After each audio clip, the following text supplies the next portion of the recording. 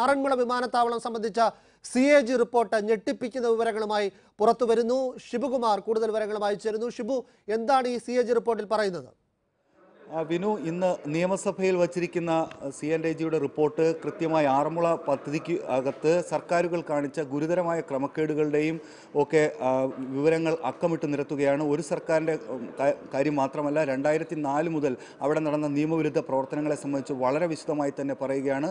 വിവിധ തരത്തിലുള്ള വിമർശനങ്ങൾക്ക് പലതരത്തിലുള്ള മറുപടികൾ സർക്കാരുകളുടെ ഭാഗത്തുനിന്നുണ്ടായിരുന്നു പക്ഷേ അവയെല്ലാം തള്ളിക്കളഞ്ഞുകൊണ്ട് വളരെ ആധികാരികമായി സി ആൻഡ് നടത്തിയ ഓഡിറ്റ് റിപ്പോർട്ടിലാണ് ഇക്കാര്യങ്ങൾ പറയുന്നത്. ഏറ്റവും പ്രധാനപ്പെട്ട കാര്യം സർക്കാർ നിയമവിരുദ്ധ പ്രവർത്തനങ്ങളെ സഹായിച്ചു എന്ന ഗുരുതരമായ കണ്ടെത്തലും നിരീക്ഷണവുമാണ് സി ആൻഡ് ജി നടത്തുന്നത്. സെക്രട്ടേറിയറ്റ് മുതൽ താഴെത്തട്ട് വരെ പിഴവുണ്ടായി. ഇക്കാര്യത്തിൽ സ്വതന്ത്രമായ അന്വേഷണം വേണം എന്ന് ആവശ്യപ്പെടുന്നു. പത്ത് ശതമാനം ഓഹരി വിമാനത്താവള കമ്പനിയിലെടുത്തത് നിലനികത്തൽ കയ്യേറ്റം പാരിസ്ഥിതികനാശം എന്നിവയിൽ സർക്കാർ കക്ഷിയായതിന് സമാനമായ നടപടിയായിപ്പോയി എന്നാണ്. നിലനികത്തലും കയ്യേറ്റവും തടയുന്നതിന് വേണ്ടി സർക്കാരിന്റെ ഭാഗത്തുനിന്ന് ഒരു നടപടി ഉണ്ടായില്ല. പുറമ്പോക്ക് കയ്യേറ്റത്തിനെതിരെയും നടപടി ഉണ്ടായില്ല. മിച്ചഭൂമി തിരിച്ചുപിടിക്കൽ അതായത് കോഴഞ്ചേരി എഡ്യൂക്കേഷണൽ ചാരിറ്റബിൾ സൊസൈറ്റിയിൽ നിന്ന് മിച്ചഭൂമി തിരിച്ചുപിടിക്കാൻ ഒൻപത് വർഷക്കാലം യാതൊരു തരത്തിലുള്ള നടപടിയും എടുത്തില്ല. അതായത് രണ്ടായിരത്തി നാല് മുതൽ രണ്ടായിരത്തി പതിമൂന്ന് വരെ ഈ ഇത് മിച്ചഭൂമി കെ ജി എസിന് കൈമാറുന്നതിന് സഹായകരമായ നടപടിയായി. ഭൂമി കൈമാറ്റം ഒരു വേളയിൽ കളക്ടർ തടഞ്ഞെങ്കിൽ പോലും മുൻ മുഖ്യമന്ത്രിയായിട്ടുള്ള മുൻ മുഖ്യമന്ത്രി ഇടപെട്ടു. ഈ കൈമാറ്റം എൽ ഡി എഫിന്റെ കാലത്ത് നടന്നു. പോക്കുവരവ് U D F U D എഫിന്റെ കാലത്തും നടന്നു. ഇത് കയ്യേറ്റം അടക്കമുള്ള നടപടികൾ ക്രമപ്പെടുത്തുന്നതിന് സഹായമായി നിലനികത്തൽ നടയ തടയുന്നതിന് വേണ്ടി കളക്ടർക്ക് അധികാരമുണ്ടായിരുന്നുവെങ്കിലും കളക്ടർ അധികാരം പ്രയോഗിച്ചില്ല. ഇരുന്നൂറ്റി ഇരുപത്തി ഒൻപത് ദശാംശം രണ്ട് ഏഴ് ഏക്കർ നിലം ഇവിടെ നികത്തിയിട്ടുണ്ട് എന്നാണ് സി ആൻഡ് എ ജി നിരീക്ഷിക്കുന്നത്.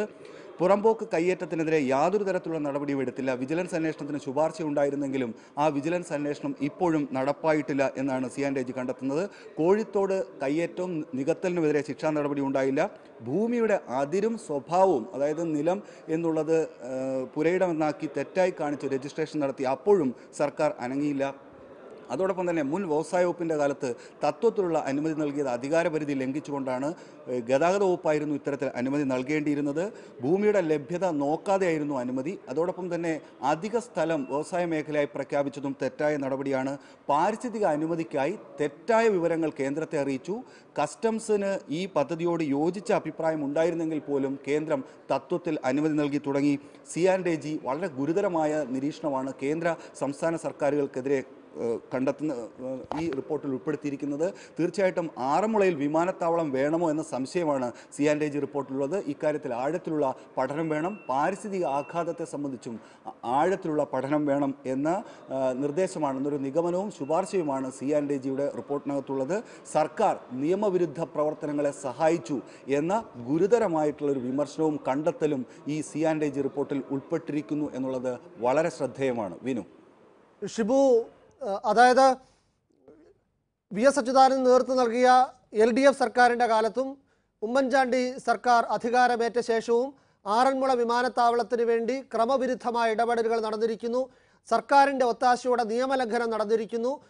അവിടെ നടത്തിയ എല്ലാ നിയമവിരുദ്ധ പ്രവർത്തനങ്ങൾക്കും L D F U D F സർക്കാരുകൾ ഉത്തരവാദികളാണെന്നാണോ സി എ ജിയുടെ കണ്ടെത്തൽ? തീർച്ചയായിട്ടും രണ്ടായിരത്തി നാല് മുതൽ ആറന്മുളയിലുണ്ടായ നിലനികത്തൽ അടക്കമുള്ള കാര്യങ്ങളിൽ രണ്ടായിരത്തി നാലിൽ യു ഡി എഫ് സർക്കാരാണ് അതിനുശേഷം എൽ ഡി എഫ് സർക്കാർ വന്നു. ഇപ്പോൾ യു ഡി എഫ് സർക്കാർ. ഈ മൂന്ന് സർക്കാരുകളുടെ ഭാഗത്തു നിന്നും നിയമത്തിന്റെ വഴി വിട്ടിട്ടുള്ള നടപടികൾ ഉണ്ടായി എന്ന് തന്നെയാണ് സി ആൻഡ് ഏജ് റിപ്പോർട്ട് കുറ്റപ്പെടുത്തുന്നത്. സെക്രട്ടേറിയറ്റ് മുതൽ സെക്രട്ടേറിയറ്റ് വകുപ്പുകൾ തൊട്ട് താഴെ തട്ട് വരെ ഗുരുതരമായ എല്ലാ തട്ടിലും ഗുരുതരമായ ക്രമക്കേടുകൾ ഉണ്ടായി. ഇക്കാര്യത്തിൽ സ്വതന്ത്രമായ അന്വേഷണം വേണം എന്ന് ആവശ്യപ്പെട്ടുകൊണ്ടാണ് സി ആൻഡ് ഏജിയുടെ നിരീക്ഷണങ്ങളും ശുപാർശകളും അവസാനിക്കുന്നത്.